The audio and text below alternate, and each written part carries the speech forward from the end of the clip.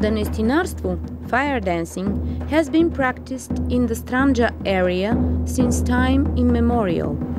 It's been preserved as part of the traditional culture and practice of the Panagyr, or festival in honor of the patron saints Constantine and Elena.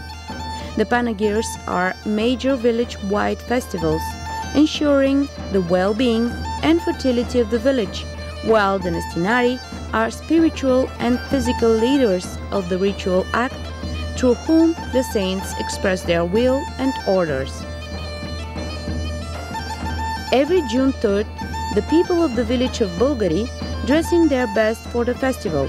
Around 8:30 a.m., the priest consecrates the Konak, the chapel of Saint Constantine, housing the stonina, a small iconostasis with a shelf where the sacred icons of Saint Constantine and Saint Elena are kept, the sacred drum used only in this ritual, and the kurban, the sacrifice of an animal, nowadays a white sheep that is an odd number of years old.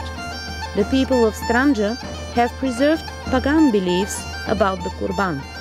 They believe Saint Constantine doesn't want meat but blood and that's why sacrificial animals are slaughtered for Kurban.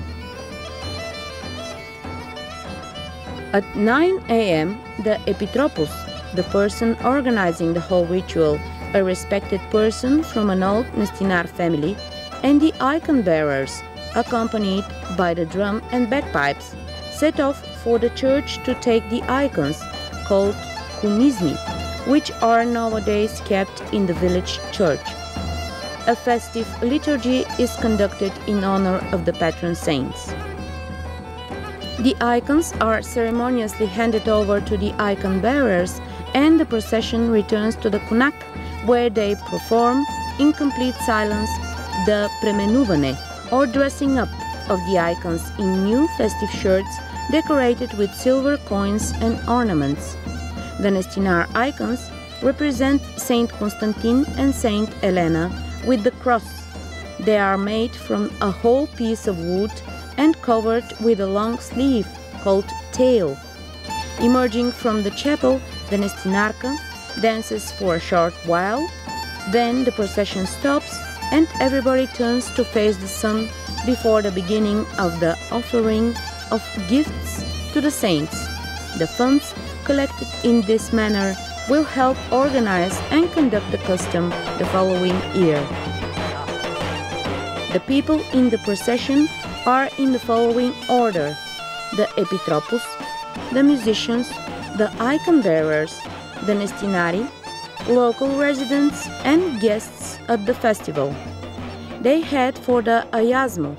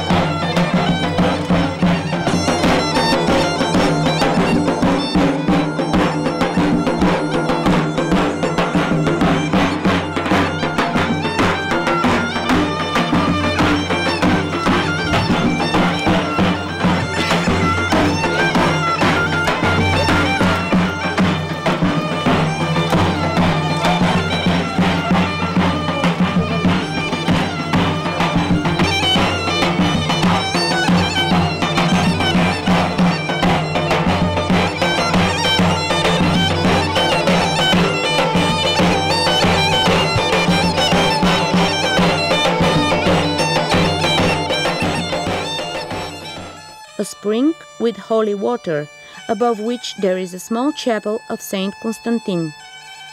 There the icons are placed on the so called odurce, literally small plank bed. a wooden platform with a parapet on which the stonina is placed to rest, as they say.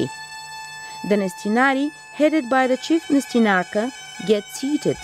The Epitropos washes the icons with holy water from the Ayasmo and hands out holy water and candles to everybody for health. Then they light the candles and leave money for the water and the candles.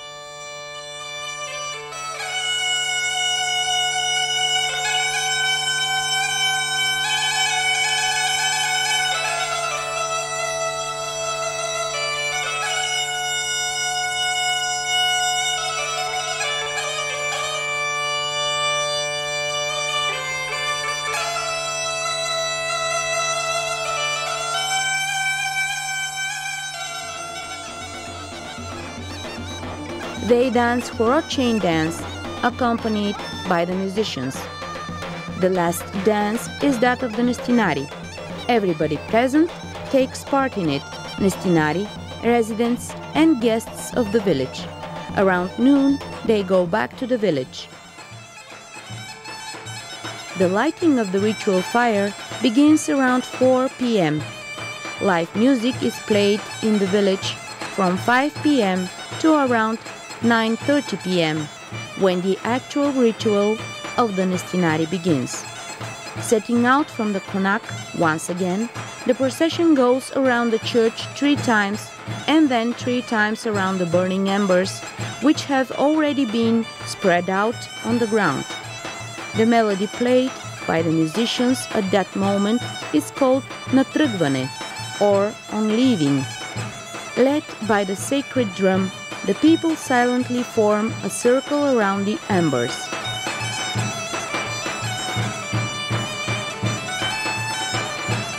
To the sound of the Nestinarsko Horo melody, the Nestinari begin working themselves up to enter the circle of embers. This moment is called prihvashtane, or possession, a peculiar ecstatic state that helps them pass through the embers. The Nestinari's blood rushes to their heads their facial expression changes, they become tense, they begin trembling, their limbs turn cold or frost over, as they say, and falling into trance, possession, they rush into the circle of embers with the specific Nestinar cries of Vah, Vah. The actual treading on, trampling out of the embers lasts about 15 minutes.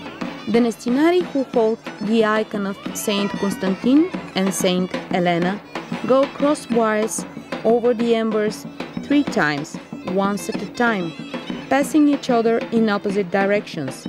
It is believed that the more times they trample out the embers, the better the year will be for the village. Emerging from the fire, the Nestinari lead a chain dance around the fire which everyone must join in for health. After the end of the fire dance, everyone goes to the konak, where they partake of the by then ready kurban or sacrificial meal. The Nestinari and Nestinarstvo have the following distinctive features contact with the saint in a state of trance or the so called prihvashtane, possession prophecies and predictions of community wide importance about the fate of the village or the country, treading on trampling out embers. In more recent times, it's been believed that the trampling out of the embers to ashes would rid off all diseases and evil the village and redeem the sins of all. This specific element of trampling out categorically distinguishes the Nestinarstvo from the various forms of fire walking, passing across embers in the rest of the world. This is the distinctive feature of the Nestinarstvo. Today, Bulgari is the only Strandzha village where the tradition of Nestinar fire dancing and the Panagyr of Saint Constantine and Saint Elena has never been interrupted.